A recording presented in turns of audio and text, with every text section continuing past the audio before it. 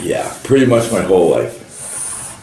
Even when I didn't even know what I was doing, that's what I was doing. So you kind of basically like considered like a wizard or a witch. Yeah, I do consider myself a practitioner, yes. Do you, do you think that there's like a lot of other artists in this in the industry, especially like I know there are. even locally that are Oh, yeah. Locally, worldwide, um, all over the planet. And other planets.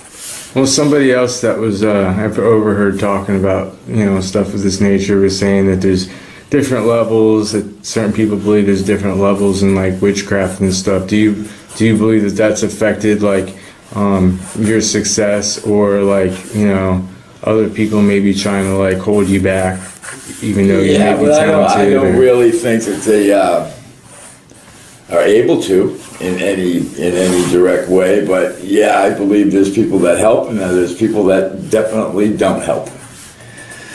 Well, on those terms, yeah. I know I'm being a little bit vague about that, but it's like those are things that I would discuss with a private group, not just like openly. But Fair enough.